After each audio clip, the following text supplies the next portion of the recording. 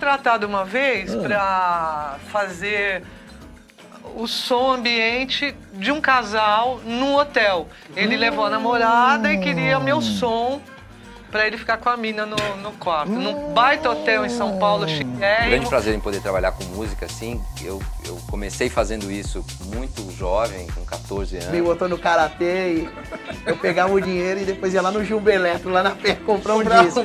Esse grupo, que é a primeira música que eu vou tocar, Sensacional. A hora que você viu a, primeira vez, escutei então... a primeira vez esses caras tocando, eu falei, pô, pera aí, é por aqui Eu- que eu quando eu vou. falo eu, não sou eu, é o Skank comigo. Né? Porque eles têm muito.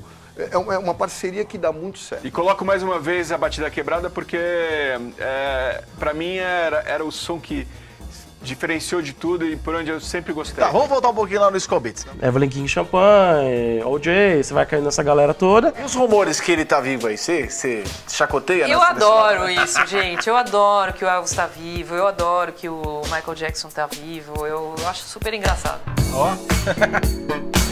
Como você foi parar na música, graças a Deus? Uma porta da estante era os discos do meu pai e a porta do lado era os discos E da eu minha mãe. acompanhei a transição do funk para o hip hop. As né? próprias rádios eram as referências. Com certeza. Tô né? arrepiado porque essa música aqui me, faz, me lembra tudo que eu vivi lá atrás, cara. Que É legal, sensacional. velho. Muito que boa essa legal, que música. legal. E Não essa- era um cara que fazia música, era um time de E pessoas. meu pai era grande fã de bossa nova, como eu já disse, e a minha mãe de música brasileira.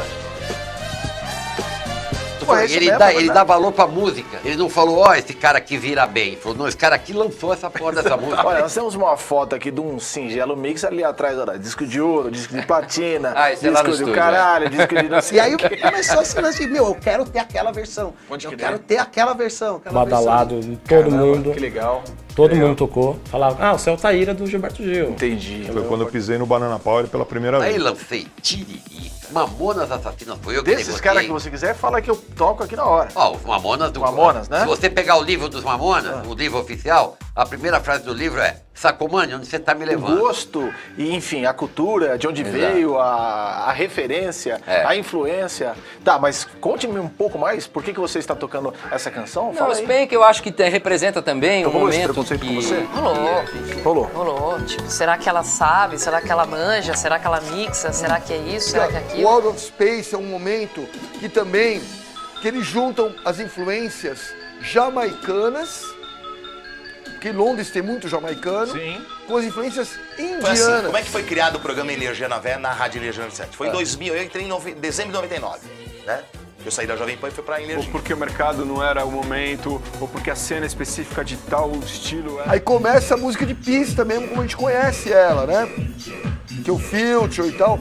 Toda a parada de acid tracks e tal, que rolou forte nessa época oh, faz um BG pra gente aqui, ô oh, produção. Pô, tá fudido, hein, meu? Dá licença, hein, meu? Mandar embora, hein, caralho.